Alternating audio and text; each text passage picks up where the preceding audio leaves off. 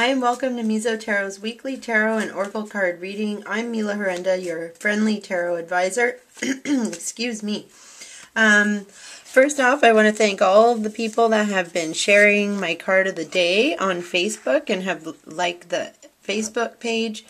Uh, we are just about at the end of my contest, which is I'm going to give away two tarot teachings, the basics, which is over six hours of video. and uh, instruction for how to read tarot for yourself so you can have valuable insight into your life. And it's a value of $39 and I'm giving away one half an hour reading which is a value of $80 and um, well, I will announce the winner as soon as I get to 300 subscribers. I'm going to keep uh, I'm going to keep you posted on another contest that will be for 400 subscribers. So thank you for posting, sharing, uh, plus wanting, and all the, all that good stuff. So thanks a lot, and uh, I appreciate it. Okay, so we've got the King of Wands reversed. Um, the King of Wands reversed is this guy. He really likes his control. See if you um, note his throne and it's very structured. And he's sitting there and he's got his wand across his lap and he's like look i have control of the lion and the lioness. They just come to me and obey.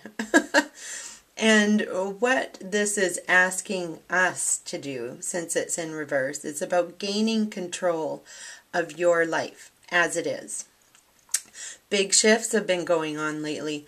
I've been noticing a lot of stuff. My career as a tarot advisor is really launching and I'm getting very busy. And uh, things are going my way, but you have to stay in control. And part of this is self care, self love, uh, taking care of yourself, and it's also about knowing where you're going, having that game plan, and putting your action steps together and moving forward with the intention that you have control and the ability to do anything you want, and you really do. Now, in the middle of the week, the High Priestess in reverse. This comes to us saying that, yeah, we might not know all the answers. We might not know what the future holds. You can find out a little bit if you get a reading with me, but we might not have all of those things. The High Priestess promises to unroll her scroll there and let us in on all the details as soon as you get clear. See the light? The you have to I want to say be a moth, right? Because the the uh, symbolism behind a moth in the in the native animal um, totems, pardon me, in the native animal totems, a moth goes towards the light blindly and with faith and courage and does not cease. You know, moths will always, always go to light, even if they get burned keep on following your light, keep on following your passion. And yeah, I know it's kind of shady right now, but if you keep on pursuing your dreams and stay in control, all will be uh, uh, given to you at the perfect time. Now, and then the chariot arrives for us, right?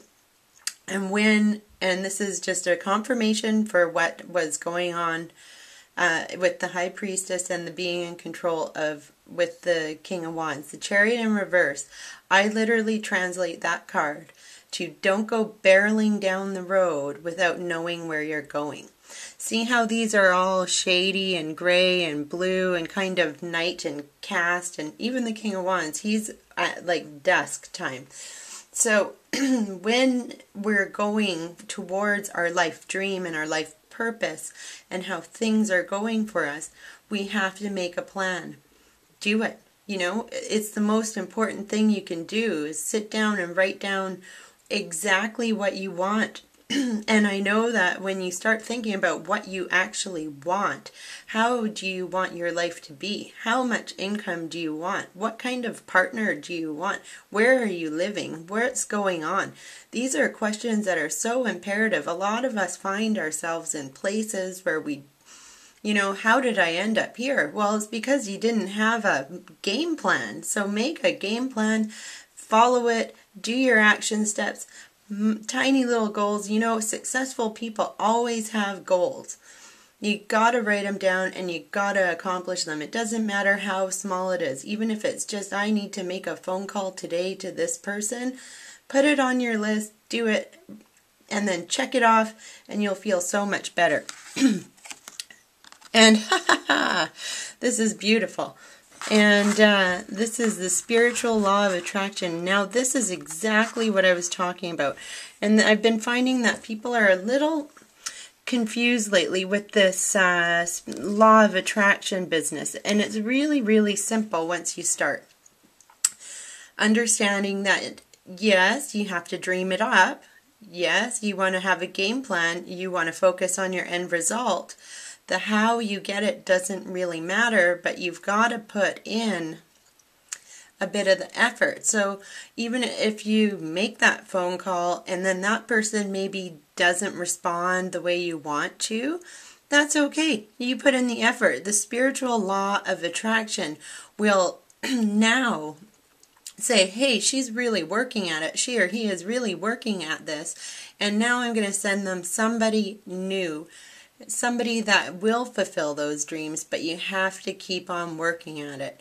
And everyone thinks the spiritual law of attraction, you just dream it up and it pops in your lap.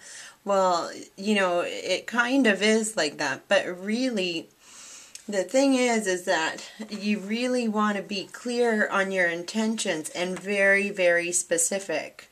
And uh, and I cannot get is get into that enough specific being specific. Because things will pop up the way you perceive them. So this is also about you know certain people or situations and they come to you and they mirror your thoughts and emotions and beliefs. So you know this is the thing you know if you're thinking negatively or that you won't get something well it's going to pop up. Okay? Anyways um, I think that's what I'm going to leave you with for this week. Just um, hold on to positive loving and abundant thoughts and let's um, elevate our emotions and our our self-esteem and know that we are supported in our path and our journey. This week has been, or last week even, it came up with like some self-doubt. There's been self-doubt and self-esteem issues with them. It's trending in my readings right now. I call it trending in my readings because there is definitely trends in it. I know it has to do with the astrology and where the planets are. So the conflict and things within yourself, they're bubbling up because it's normal. You're sensitive to the earth and the way it's going. You're a little earth angel like me. You know, come on, let's just um, elevate yourself, do things that you love to do, take care and nurture yourself. All is well. I know it. And I guarantee you, you can have anything you like. It will come to you. Just keep positive and let's get that going. All right. Till next week, you guys. Don't forget to uh, share and like the Mizo Tarot page. Um, you can uh, plus one on the Google page and uh, just share the cards. I've been keeping tabs of everybody that's been sharing and that's how you enter to win. Anyways, I will talk to you later and I hope you have a great week. Start thinking about what you really want your life to be in five years. Okay? Have a great week. Much love to you. Bye.